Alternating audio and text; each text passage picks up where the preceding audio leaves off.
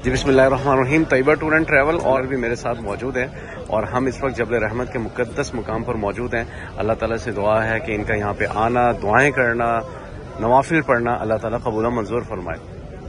21 अगस्त 2023 और travel, Tayba tour and travel के हाजी इस वक्त मेरे साथ यहाँ पर मौजूद हैं।